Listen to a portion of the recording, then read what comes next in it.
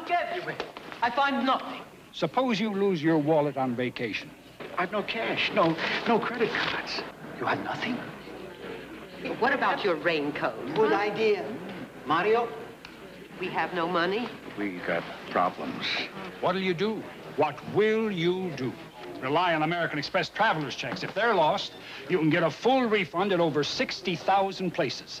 American Express traveler's checks. Don't leave home without them.